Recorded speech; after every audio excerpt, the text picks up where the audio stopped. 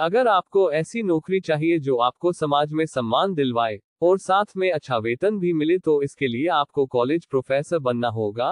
अब आपके मन में सवाल आएँगे, जैसे प्रोफेसर कैसे बने और प्रोफेसर बनने के लिए आयु सीमा कितनी होनी चाहिए और प्रोफेसर के लिए कौन सी पढ़ाई करे और प्रोफेसर को कितनी सैलरी मिलती है? इन सभी सवालों के जवाब आपको इस वीडियो में मिल जाएँगे, वो भी कम समय में।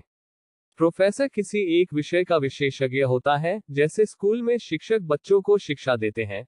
वैसे ही कॉलेज और यूनिवर्सिटी में विद्यार्थियों को प्रोफेसर शिक्षा देते हैं। कॉलेज प्रोफेसर का पद किसी को सीधे प्राप्त नहीं होता।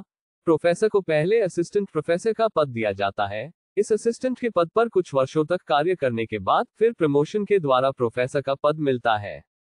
अब जानेंगे प्रोफेसर के लिए कौन सी पढ़ाई करे, जैसे स्टूडेंट्स दसवीं पास करते ही वो ये सोच लेते हैं कि, उनको क्या बनना है, जैसे इंजीनियर बनने के लिए स्टूडेंट्स को मैथमेटिक्स लेना पड़ता है, लेकिन प्रोफेसर बनने के लिए स्टूडेंट्स कोई भी सब्जेक्ट से बारहवीं पास कर सकते हैं। बारहवीं कक्षा पास करने के बाद, आपको ग्रेजुएशन में कम से कम 50 प्रतिशत अंक से पास होना होगा, और तीसरे साल के अंत तक आप ये डिसाइड कर ले कि आपको कौन सा सब्जेक्ट सबसे अच्छा लगता है ताकि आप वही सब्जेक्ट को आगे कंटिन्यू कर सके? ग्रेजुएशन पास करने के बाद आपको पोस्ट ग्रेजुएशन में एंट्री करनी पड़ेगी और पोस्ट ग्रेजुएशन में कम से कम 55 प्रतिशत अंकों से पास होना होगा।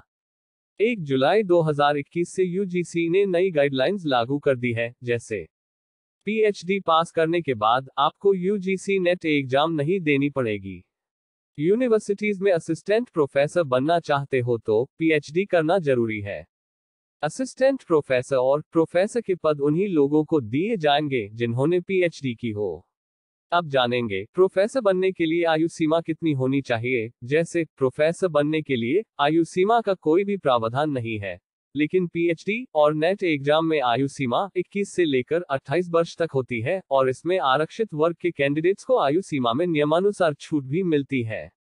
अब जानेंगे प्रोफेसर को कितनी सैलरी मिलती है, जैसे असिस्टेंट प्रोफेसर की सैलरी सैतीस हज़ार से लेकर सड़सठ हज़ार तक मिलती है और प्रोफेसर बन जाने के बाद एक लाख पिचासी हज़ार के आसपास तक सैलरी पहुँच जाती है। इसी तरह की जानकारी से भरी वीडियो को देखने के लिए इस चैनल को सब्सक्राइब करना ना भूले।